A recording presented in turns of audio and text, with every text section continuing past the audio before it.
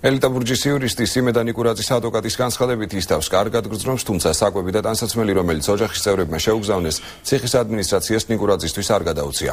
აპელაციას ადვოკატები სასამართლოში დღეს შეიტანენ. შეგახსენებთ, რომ თბილისის საქალაქო სასამართლოს გადაწყვეტილებით ელიტა ბურჯის ადვოკატ სიმედან იკურაძეს 20 დღიანი ადმინისტრაციული პატიმრობა რვა აგვისტოს შეეფარდა.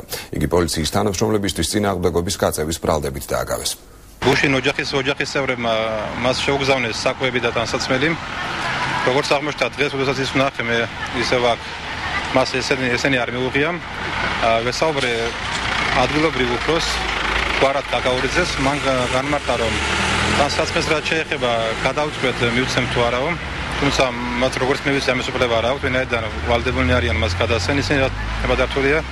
ხოლო რაც შეეხება საკვებს, ხელახლა თუ შევგზავნეთ მას ისევ მივახვდეთ ეხლა. რაც შეეხება საქმეს, ვასაჩვენებ ჩვენ მას სასამართლოში სააპელაციოში. შევიტანთ ამ დღეს ამ ხვალ დიდით კანონთაგენ ვადაში და ველოდებით ჩემთან გაგზავნებას.